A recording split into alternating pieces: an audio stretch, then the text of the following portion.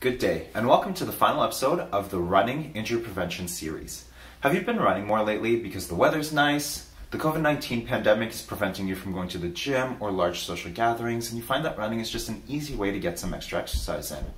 Are you starting to notice some extra aches and pains in your joints, or maybe you're actually getting injured already? Or are you just not running because you're afraid of getting injured? Well, this guide is for you. Today we've got some tips and tricks on how to create a programming for running. Whether you're running because you want to improve your fitness or whether you're running because you actually want to run a road race, these guides are important and take into consideration tips on how to reduce your risk of injury.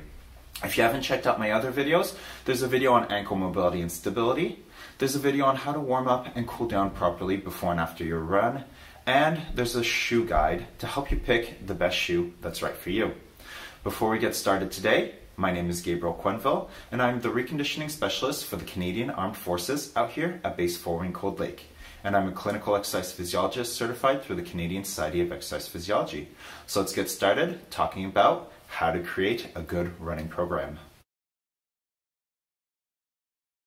Did you know that the most amount of injuries caused by fitness and sports related activities within the Canadian Armed Forces is actually caused by running?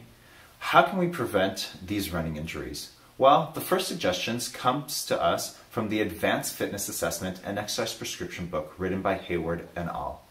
What they recommend is initially we want to create an aerobic base, regardless of what activity we're doing. We want our heart to be conditioned to long sustained aerobic activity. How do we know that we've built a sufficient base? Well, we get to a point where we can go three times a week 30 minutes of continuous aerobic activity where this feels light and our heart rate is at about 60% of our heart rate reserve.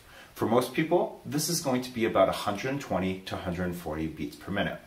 How do we know that that feels light? Well, you're able to talk the whole time, you're not huffing and puffing. It's a nice, easy, comfortable effort. So let's say you're not there yet. Well, let's gradually get to a place where we can get there. Maybe we're doing an activity that our heart rate isn't as high, 100 to 120 beats per minute, or maybe even less if we're not even there yet. And maybe we're going for about 20 minutes. Let's do that three times a week, and then slowly build it up. Go from 20 to 25, and then go from 25 to 30, and slowly add in the intensity upwards to 140 beats per minute, all while it feeling like a nice, comfortable, and light effort. Once you're there, you're able, your heart is able to start going for longer duration or to start including higher intensity training. Unfortunately for all you runners, it's insufficient to just build a strong aerobic base before we start increasing intensity or increasing duration.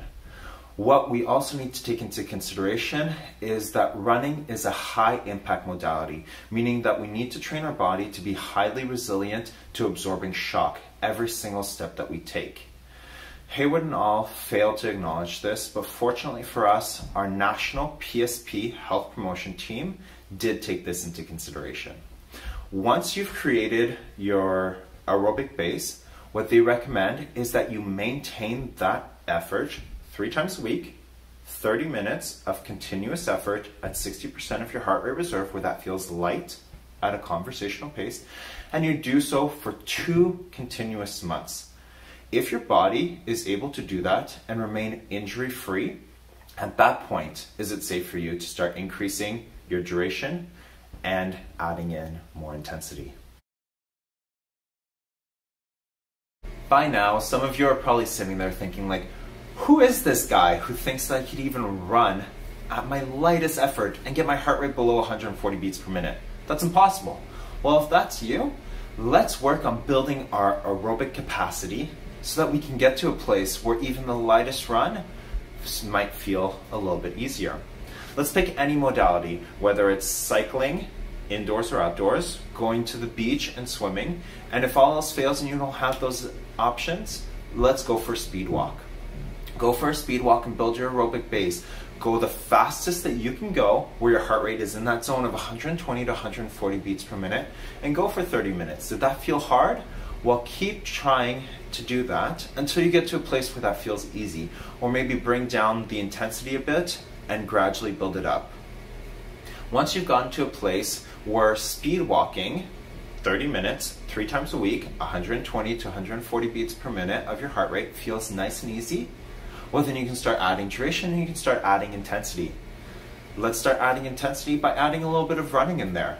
Maybe in the middle of our 30 minutes, we're gonna do 10 minutes in the middle where we do a minute of jogging and a minute of speed walking, and we alternate that five times. That adds five minutes of running where our joints are getting used to increased um, shock absorption, and we're still getting a good quality workout. We can start adding some intensity and some duration slowly while we're continuing to keep our running a total of 30 minutes or less. Once we're at that place where we can jog for 30 minutes, whether it's continuous or not, three times a week, we want to do that for two continuous months in order for joints to get used to the shock absorption.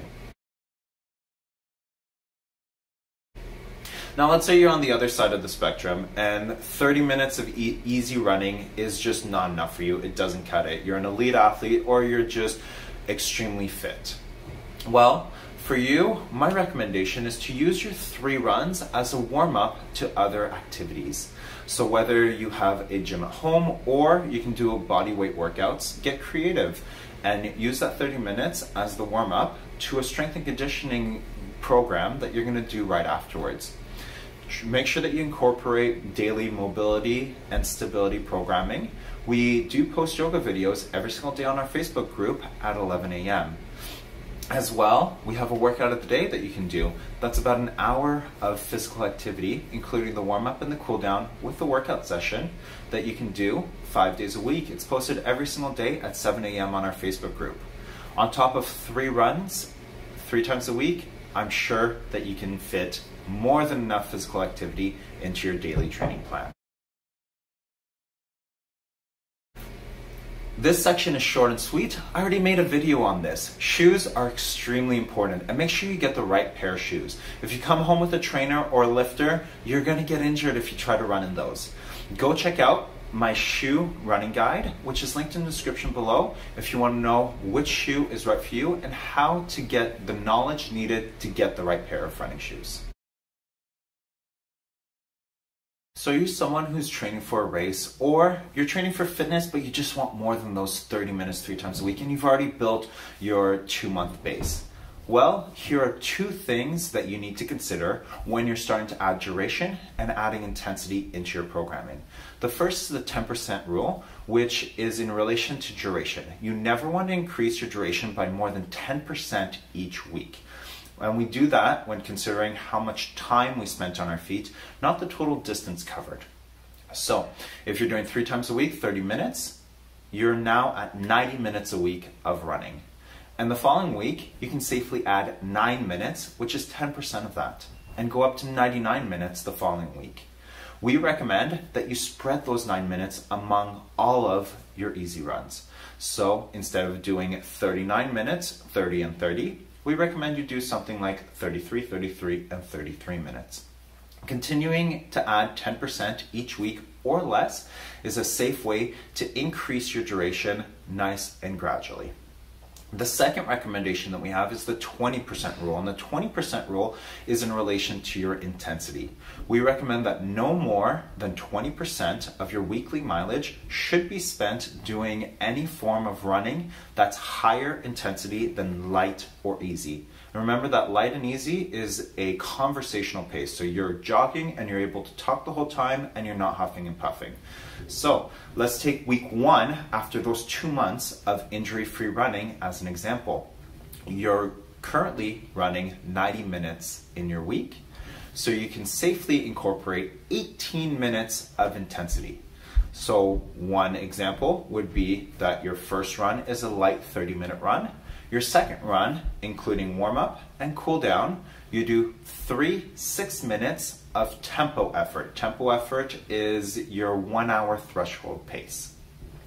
And you incorporate two minute easy runs in between those three six minute efforts. Those three six minute efforts are your 18 minutes for the week.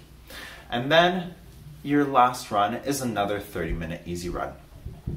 You can slowly incorporate and include more running at higher intensity as you start increasing your mileage by 10% every single week.